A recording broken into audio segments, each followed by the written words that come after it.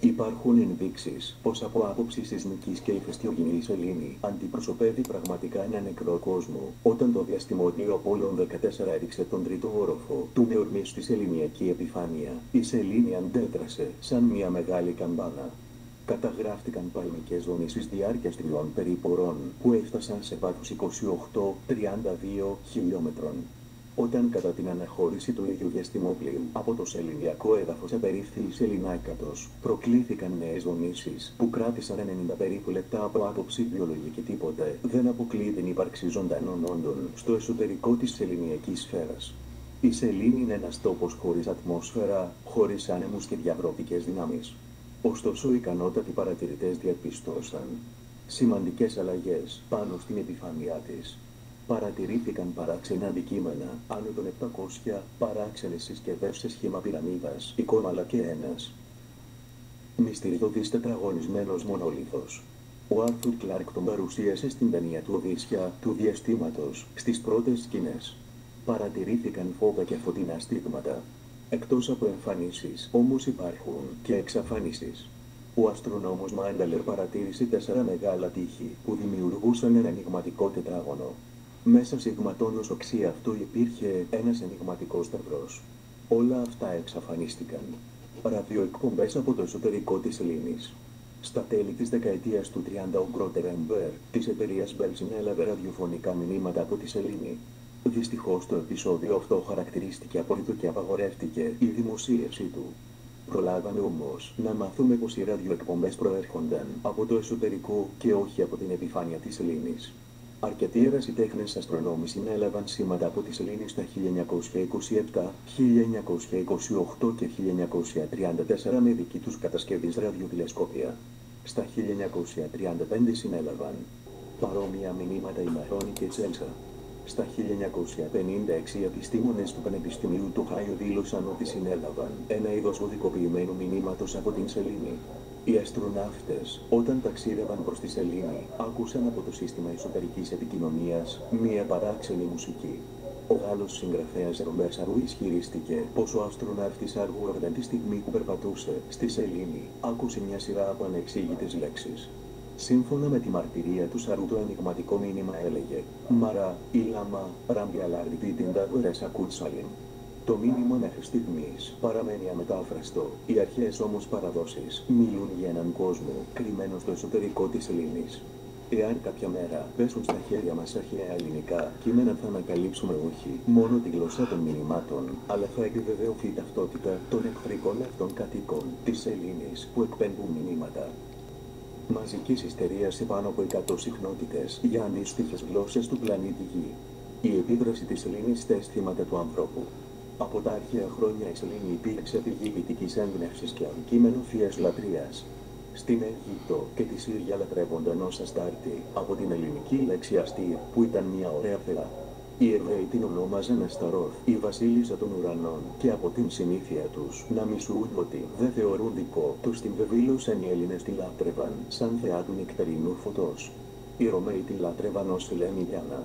Οι Αράβες, οι Ινδοί, οι Ινκάς, οι Αζτέκοι, οι Σκανδιναβοί και κάποιες φυλές των νησιών του Ειρηνικού, στο πρόσωπο της Ελλήνης έβλεπαν έναν Θεό επειδή γνώριζαν την μεγάλη δύναμη που έχει το ουράνιο αυτό σώμα, που δεν είναι πλανήτης αλλά διαστημικός κάθος. Από το εσωτερικό της σελήνης καταγράφτηκαν εκπομπές διανοητικού έλεγχου σε πάνω από 100 συχνότητες που εκπέμπουν συνθήματα μαζικής ιστερίας σε ανάλογες γλώσσες του πλανήτη. Τα συνθήματα αυτά περιλαμβάνουν εντολές για θρησκευτική, πολιτική, κοινωνική, οικονομική και πολιτισμική συμπεριφορά προς τα έθνη του πλανήτη. Επίσης συμπεριλαμβάνονται εντολές στρατηγικής και γεωπολιτικής φύσεως μια από τις πιο πετυχημένες και συντονισμένες εκπομπές ελέγχου του νου που χρησιμοποίησε και το στοιχείο της μαζικής ιστερίας ήταν το γνωστό συγκρότημα The Beatles τηλεπαθητικά μηνύματα. Οι συχνότητες που παράγονται από το εσωτερικό της Ελλήνης προέρχονται από συνομιλίες όντων ο θώρακας όμως των 32 χιλιόμετρων μετάλλου, κράματος τιτανίου, χρωμίου, σιδήρου, νικελίου, ιτρίου, ζυρκονίου, μολυβδενίου, ρουθινίου, παλαδίου, αν και θεωρητικά είναι καλός αγωγός ηχητικών κυμάτων, παρουσιάζει μεγάλη απορροφησιμο αποτέλεσμα η σελήνη να βγάζει στο εξωτερικό της μόνο κραδασμούς. Συχνότητες από τη λειτουργία των βαρέων μηχανικών εγκαταστάσεων του εσωτερικού της. Οι επικοινωνίες μεταξύ της σελήνης και των σκαφών της, αλλά και των σκαφών μεταξύ τους, δίνουν σαν γλώσσα επικοινωνίας στην γενέτειρα της εβραϊκής γλώσσας, τη μογγολική. Με πολύπλοκο συντακτικό και αυξημένο λεξιλόγιο. Είναι αδύνατον να μεταφραστεί ο όγκος αυτός του άγνωστου λεξιλογίου. Υποθέτουμε ότι είναι τεχνικοί όροι και γενικευμένες έννοιες που λείπουν από το σημερινό μογγολικό λεξιλόγιο, διότι η γνώση και η νοημοσύνη των γήινων που χρησιμοποιούσαν τη γλώσσα αυτή δεν επέτρεπε την κατανόηση τους. Οι ανωτέρω ραδιοεπικοινωνίες καταγράφηκαν σε πυρήμορφες εκπομπής. Γραμμική εκπομπή μιας διαστάσεως, που αντιστοιχεί στις δικές μας ραδιοφωνικές εκπομπές. Επιφανειακή εκπομπή δύο διαστάσεων, που αντιστοιχεί στις δικές μας τηλεοπτικές εκπομπές και ογκομετρική εκπομπή τριών διαστάσεων, που δεν αντιστοιχεί σε Γίνει τεχνολογία, είναι το δυνατόν να αποδοθεί με διαμορφωμένους ολογραφικούς δεκτές που οδηγούνται από κεραία. Τα ανωτέρω σημαίνουν ότι τα σεληνιακά σκάφη και οι σελήνοι διαθέτουν για τις μεταξύ των επικοινωνίες πομπούς και δεκτές στερεοσκοπικής τεχνολογίας. Τέτοιες τρίτης κατηγορίας εκπομπές έχουν καταγράφει σε οπτικοακουστικούς διάλογους μεταξύ εσωτερικών πληρωμάτων σελήνης και πληρωμάτων έξωθεν ευρισκόμενων σκαφών. Η σύγκριση και αντιστοιχεία των λέξεων, ήχων που συνοδεύουν την εκπομπή στερεοσκοπικών εκπομπών με τις εικόνες έδωσαν την δυνατότητα στους γλωσσολόγους να ερμηνεύσουν μέχρι τώρα το 30% του ολικού λεξιλογίου που χρησιμοποιούν τα πληρώματα όλων των ειδικοτήτων στο εσωτερικό της Ελλήνης. Το υπόλοιπο 70% είναι κατά μέγιστο ποσοστό κατανοητό, όχι σαν συγκεκριμένο λεξιλόγιο, αλλά σαν στερεότυπο φρασιολόγιο που αντιστοιχεί σε ορισμένες ενέργειες, προθέσεις, διαθέσεις, Επεμβάσεις καπαλάμδα που παρατηρούνται στις εκπαιμπόμενες εικόνες. Οι σοβιετικοί επιστήμονες Μιχαήλ Βάζιν και Αλεξάνδρ Τσερβάκοφ σιγματώνος οξύ ένα άρθρο που δημοσίευσαν σε επίσημο σοβιετικό κυβερνητικό έντυπο. Υποστήριξαν πως η σελήνη στο εσωτερικό της είναι κούφια και δεν αποκλείεται να αποτελεί στην πραγματικότητα ένα διαστημόπλιο, κατασκευασμένο από λογικά όντα κάποιου μακρινού ηλιακού συστήματος. Οι Σοβιετικοί επιστήμονες υποστήριξαν πως ο κοινός εσωτερικός χώρος ήταν γεμάτος από καύσιμα για τους κινητήρες, εργαλεία, όργανα ελέγχου και παρατήρησης. Ήταν ένα διαστημόπλιο που ήταν ικανό να ταξιδεύει χιλιάδες και εκατομμύρια χρόνια στο διάστημα. Τα όντα που το κατασκεύασαν το έκαναν από ανάγκη για να εγκαταλείψουν τον αρχικό κόσμο όπου κατάγονται. Είναι αυτή η θεωρία. Στηρίζεται σε ηγματώνος οξύ ένα σύνολο ενδείξεων που χωρίζεται σε τέσσερις ομάδες. Ένα, το αίνιγμα της καταγωγής της σελήνης. Οι τρεις θεωρίες που ίσχυαν μέχρι πρόσφατα καταρριφθήκαν αφού Α. Η σελήνη δεν αποτελούσε ποτέ μέρος της γης από το οποίο να αποσπάστηκε Β. Η σελήνη δεν σχηματίστηκε από το ίδιο σύννεφο σκόνης και αεριών που σχηματίστηκε η γη, αφού δεν διαθέτει την ίδια χημική σύσταση εδάφους. Με τη γη Γ.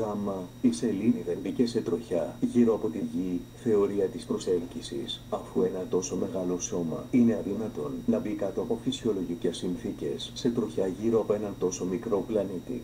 2. Ενδείξεις για την κενότητα του εσωτερικού της σελήνης. Υπάρχει μεγάλη διαφορά πυκνότητας ανάμεσα στη Γη και τη σελήνη, 3 και 33 GR. CMN για τη σελήνη και 5,5 GR. CMN για τη Γη.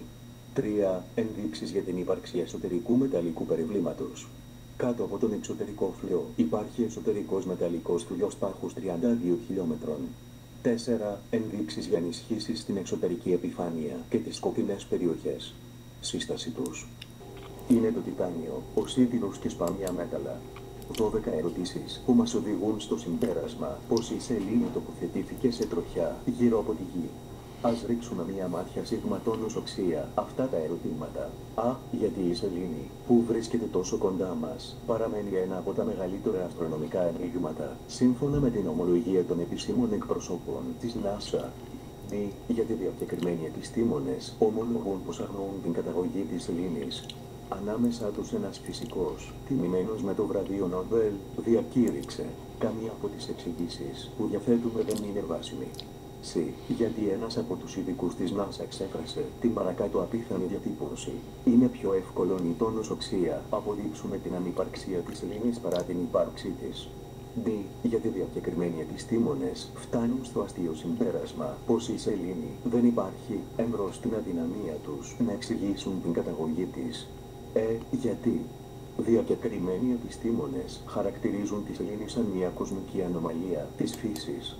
Κατά τη γνώμη τους, βρίσκεται πολύ μακριά και έχει πολύ μεγάλο μέγεθος για να είναι φυσικός δορυφόρος της γης. F. Με βάση ποιες ενδείξεις αποκλείουν τη σελήνη σαν φυσικό δορυφόρο της γης; G. Γιατί οι επιστήμονες αρνούνται να παραδεχθούν τη θεωρία της προσέλκυσης της σελήνης από την έλξη της γης.